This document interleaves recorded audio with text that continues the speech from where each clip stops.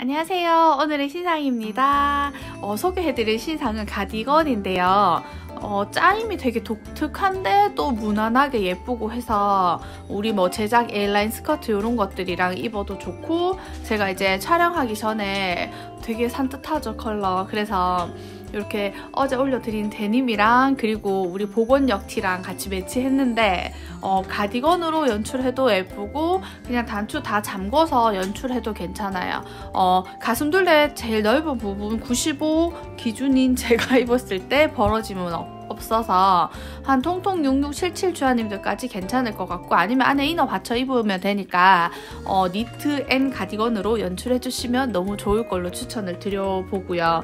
아크릴 혼방 짜임인데 이게 입으니까 되게 은근히 따뜻, 따뜻하더라고요. 그래서 어, 봄에 보온성이 이렇게 괜찮겠다 싶고 이게 짜임이 보시면 넥라인 짜임 다르게 들어가서 마감 라인 예쁘고 보시면 이렇게 약간 어, 이걸 뭐라고 해야 되지? 어, 수술, 실, 이런 것들이 막 엮여져 있어요. 그래서 되게 단추도 그렇고 빈티지 하면서 좀 매력적인 그런 느낌이 있어서 좋고 어, 입었을 때 뭔가 하나로 포인트가 딱 되는데 어, 가격도 굉장히 포인트가 있어서 어, 가격 대비 정말 괜찮을 걸로 추천드리고요. 저처럼 이렇게 스커트 입고 니트처럼 입어주셔도 되고 그냥 청바지에 흰 것도 예뻐요. 이거 색이 되게 다양한데 어, 흰 것도 흰 티 입고 입으니까 되게 예쁘고 어, 생각보다 많이 부해 보이지 않아서 너무 좋았고요.